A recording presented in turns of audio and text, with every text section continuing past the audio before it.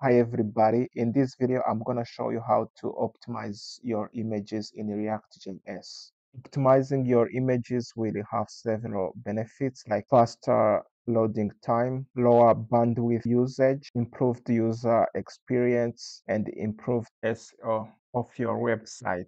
Trick number one is to set the loading to lazy for your image components uh, this will only load the images that are in the viewport of the user screen.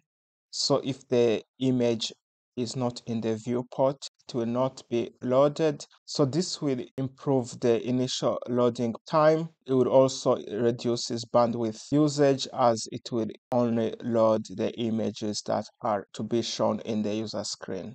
Uh, the second trick is to compress your images before you use them. Uh, so if your website is using static images, uh, you can use tools like ImageMin to compress your image programmatically. This is an NPM package.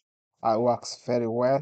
You can also use online tools like uh, TinyPNG. Uh, this is also a great tool for compressing image uh, without uh, losing the quality of the original image. Another trick is to use the srcset attribute on your image components.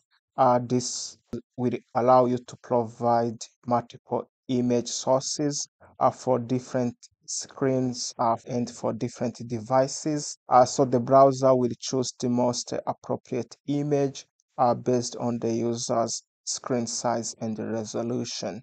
The last trick I want to show you is using a package for lazy loading your images. Uh, this is the one I like. Uh, it's called React Lazy Load Component. This is very easy to use. Uh, you just set the source of the image as you normally would.